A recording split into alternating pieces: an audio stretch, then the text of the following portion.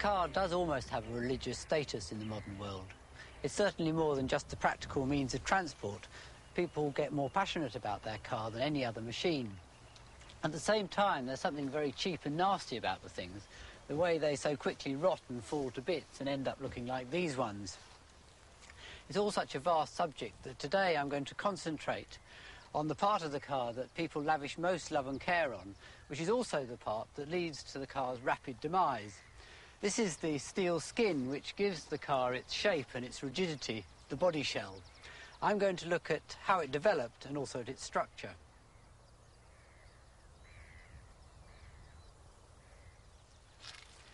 The invention that really created a market for the car by giving people a taste of the fun that could be had from a personal means of transport was the bicycle.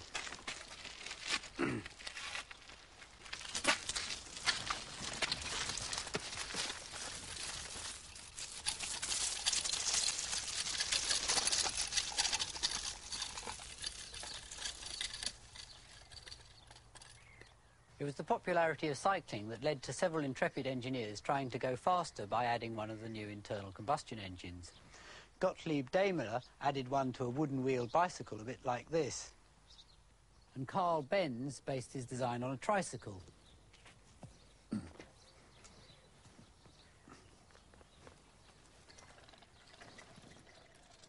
Benz was a mechanical engineer born in Germany in 1844. He'd bought a bicycle in the 1860s and had been obsessed by the idea of motorised personal transport ever since. Oh, oh, oh. Ah, Herr Benz. I see you marry my daughter, and I give you lots of money. Ah, my engine! My engine! At last I can build it! He spent his wife's dowry on a small engineering works and eventually managed to make a simple engine and tricycle. Liebchen! Liebchen! Would you like to come for a drive? I hope it was worth waiting for, Carl. You and your engine. Oh! Ooh. Ah! He never saw the point of faster speeds and refused to change his basic design. He won't change with the times, so we have no confidence. By 1906, it was hopelessly outdated, and his fellow directors threw him out. Could this be a boardroom coup? Oh, yeah. Yeah. Yeah.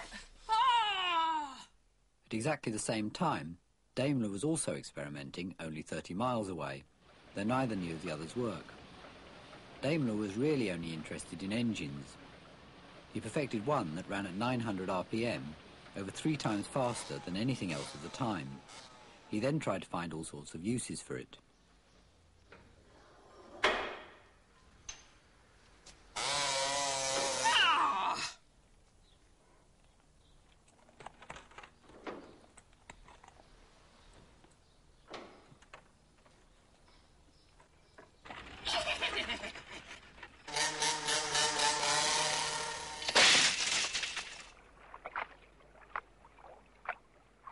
Very successful at making complete vehicles, but his engines were adopted by other firms and formed the basis of the first successful cars. This is a 1902 Wolseley. Cars had quickly lost their resemblance to bicycles and started to look literally like horseless carriages. The body, the interior, the wooden frame, the wheels, even the patent leather mudguards and the lamps are exactly like a horse-drawn carriage. In fact, the whole, this part of it would have been made by a traditional carriage builder. Mechanically, though, it's already surprisingly like a modern car, with the steering wheel and the pedals in exactly the same place. It is Reggie. He has bought one. Why, the fellow has the horse of his own yet, has he? Well, I think we ought to go and see what he has got anyway. Oh, certainly. I'm not prejudiced. Come along, Vicar. With a 20 mile an hour speed limit, which stayed in force until 1930, cars still weren't particularly useful. Then how are you? Hello, John, old boy. But motoring quickly became a fashionable hobby for the rich. This is part of a film made by Morris in the 1920s about the history of motoring. Come on, jump in, sir.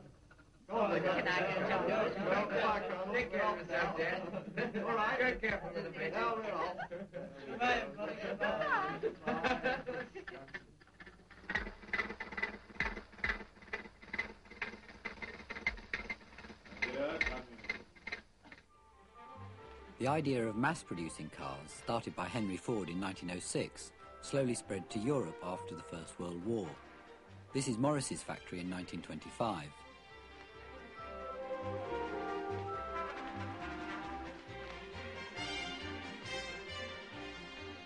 The bodies were still being made with the traditional wooden frames like horseless carriages. Although they were mass produced, it was all still very labour intensive. Oh, Mother, here's Dad in my new car.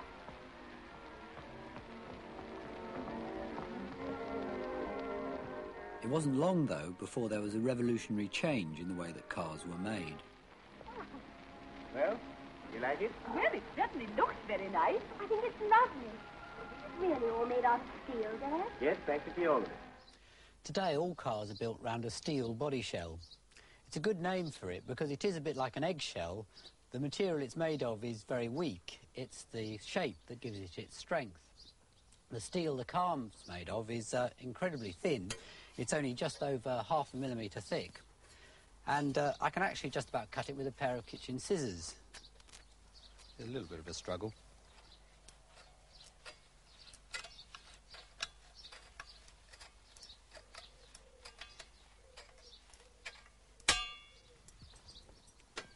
However, when it's pressed into curved, rounded shapes, curved, rounded shapes like this, this is actually the bit from uh, the bottom of one of the doors. Its strength increases enormously, is now quite strong enough to stand on. The idea of making cars like this came from an American engineer called Edward Budd, who's one of my heroes. Budd set up his factory determined to make complete pressed steel cars in 1912. His first successful car body, for the 1916 Willys Knight, looked indistinguishable from a conventional wooden one. Budd started making bodies for almost all the American car manufacturers, and in 1925 he set up a pressing plant at Cowley for Morris. The Morris standard ensures that the OK stamp is placed only on the best. And that's how they get beautiful flat sheets of steel. But, Dad, the car hasn't got flat sides. It has beautiful curves. Yes, I know, Miss Inquisitive. I thought you'd want to know how that's done. Well, those beautiful curves you like so much are made on huge machines called presses. Some are as tall as a house and weigh as much as 30 tons or more. Keen, unfashioned beauty of a great machine pressing steel. Five hundred tons presses its irresistible weight on a sheet of steel, producing the rear quarter panel of an Austin 7.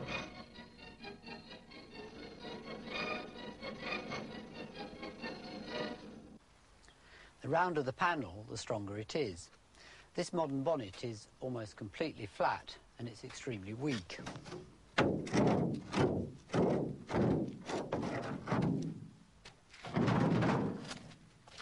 It needs this elaborate piece behind to make it stiff enough.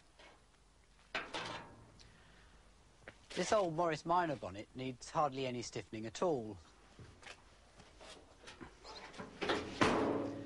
It is made of slightly thicker metal, but the main reason for its strength is its shape. Deeply rounded curves like this are the obvious way to give pressed steel strength, and I'm sure this is why such rounded bulbous cars came into fashion in the 30s and 40s. In the truly modern home or the truly modern car, it's functional design that counts. Smart styling is styling with a purpose, as seen in this new 1948 Futuramic Oldsmobile. Futuramic is a brand new word created to describe this brand new post-war General Motors car. Luxuriously appointed inside and out, the Futuramic Oldsmobile brings truly modern post-war design to the automotive field.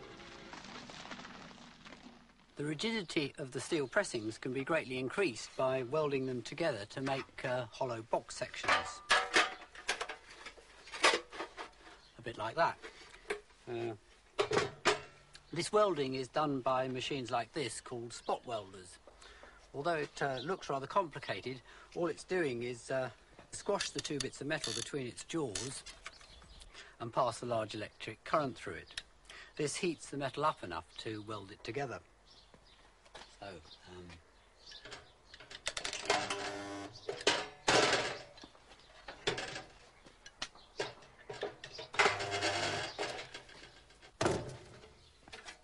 now feels completely rigid. If you look at any modern car, you can actually see the little spots. They're all welded together like this.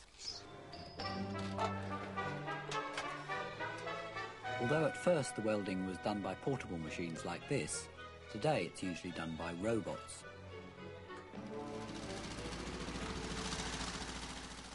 Cars were traditionally built around a strong chassis like this. All the components were fixed on, and then a fairly flimsy body could be dropped over the top.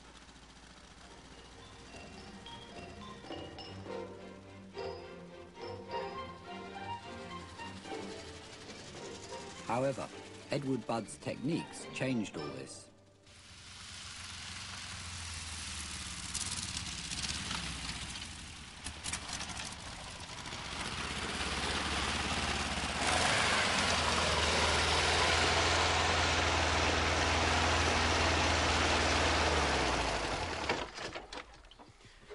Budd realised that uh, his all-steel bodies... Whoops.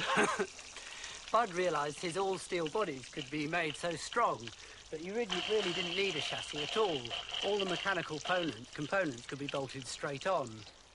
Dad, I thought the engine, axles, and wheels were always fixed onto the chassis. On ordinary cars, yes. But this, Morris, is the latest product of engineering science. And the wheels are fixed directly onto the body.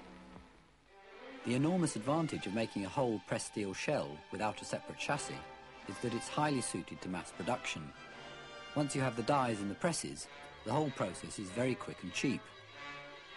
Led by America, the car industry lost its dependence on earlier industrial techniques and became a dominant industry in its own right.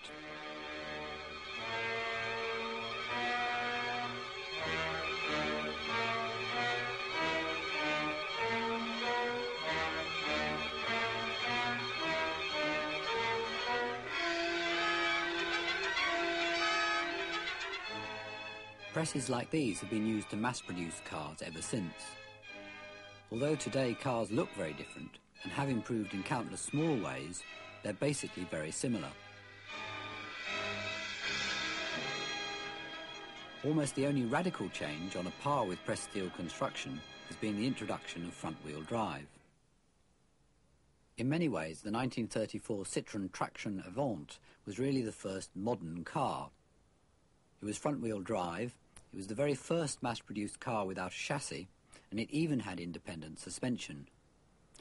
Andre Citroën was friends with Budd and was much more adventurous than any of the American car manufacturers who'd rejected Budd's ideas.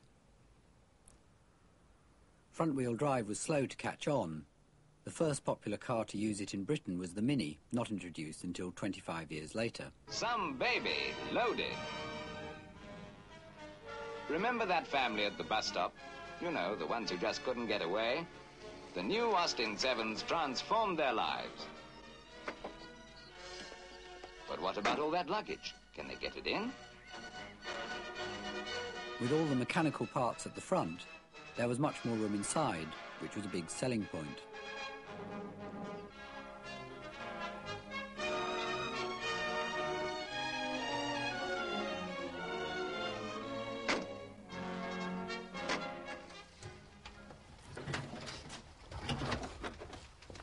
Mini has its driving wheels at the front.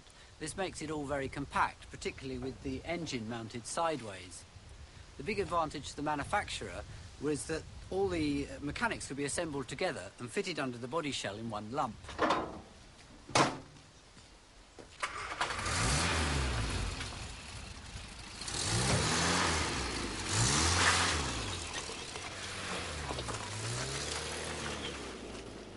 Last few years, front-wheel drive has suddenly become very popular.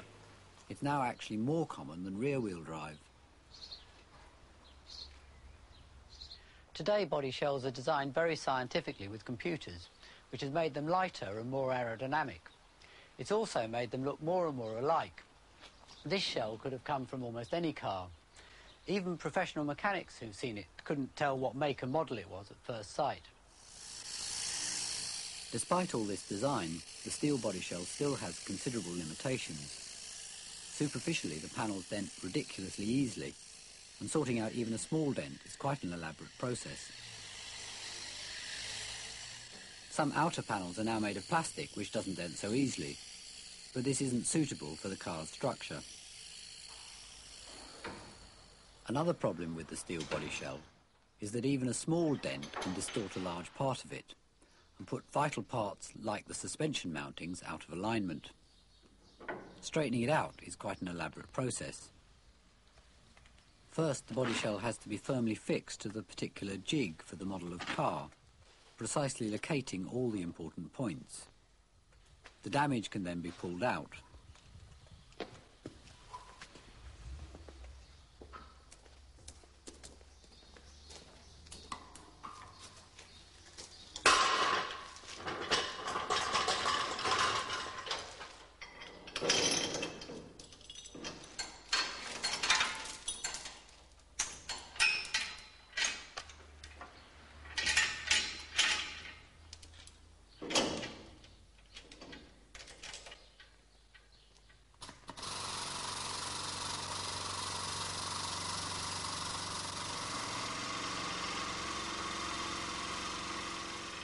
The badly damaged bits still have to be replaced, but he pulls most of the shell back into alignment.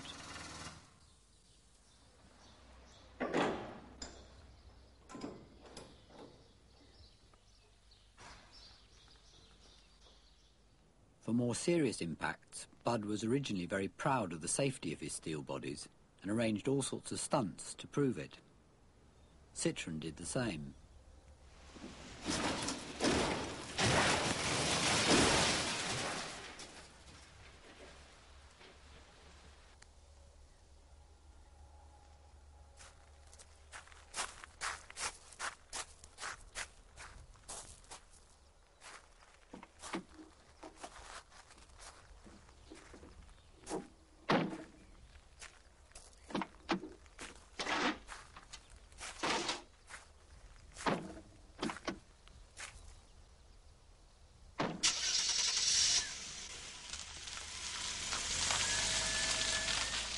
Well, I must say I admire your choice, John.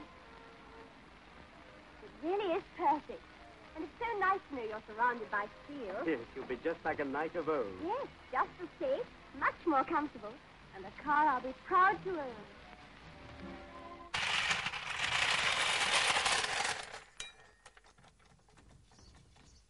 However, as car speeds have increased over the years, the forces the body shell has to cope with have increased enormously. The force needed to stop a car with the brakes quickly makes them glow red hot.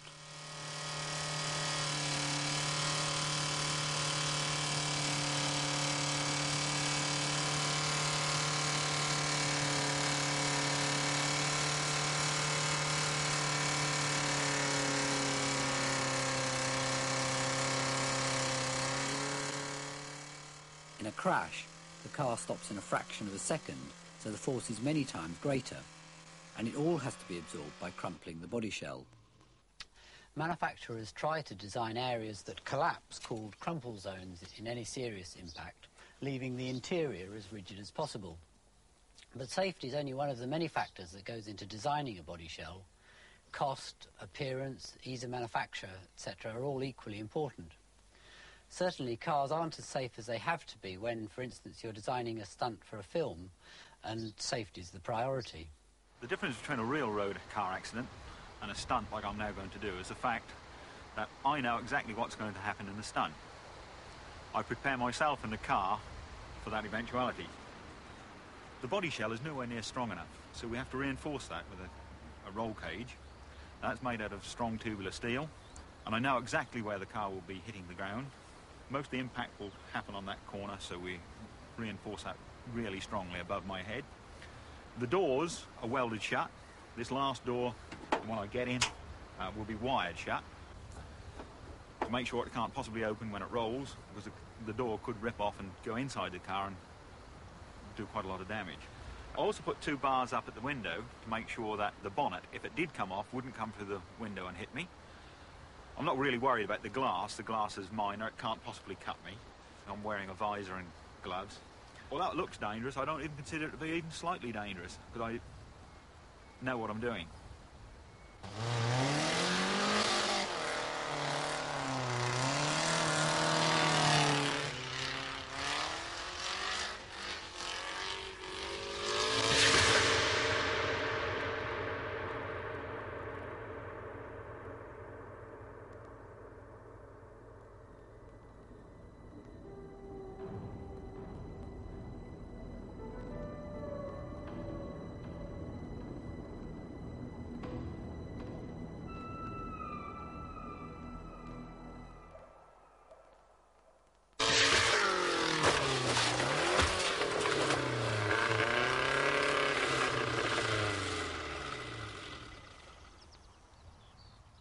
As I predicted, most of the impact was taken by the corner of the roof over my head, and as you can see, it is possible to build a structure strong enough to take even this drastic punishment.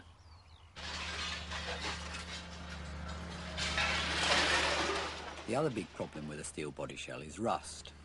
Despite manufacturers' claims about corrosion protection, about half of all cars are still scrapped by the time they're 10 years old. Most cars are still runners when they reach the yard. It's almost always the body shell, not the mechanics, which seals their fate. This car still looks immaculate, but underneath it's so rusty it's impossible to repair.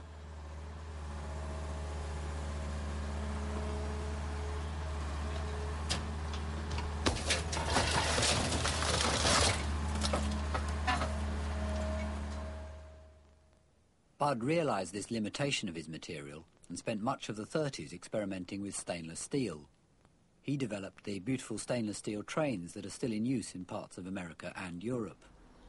Although the rusting steel used on today's cars leaves a lot to be desired, it does have one final compensation. Cars get more thoroughly recycled than any other machine. There's a whole lot industry of scrapyards which salvage and resell the mechanical parts and squash up the body shells to be remelted. Scrapyards really deserve a greener image.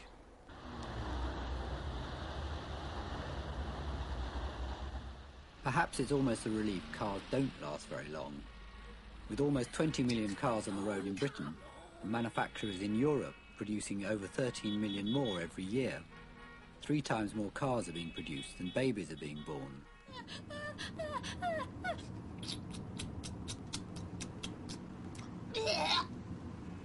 No, I know I'm losing millions. I'm stuck in traffic jam. They're hardly the symbols of freedom and progress they once were.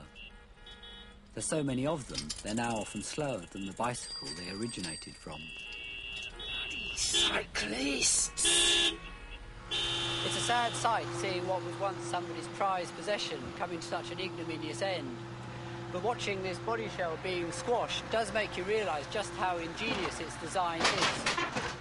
The way the whole thing can be made from such a small amount of metal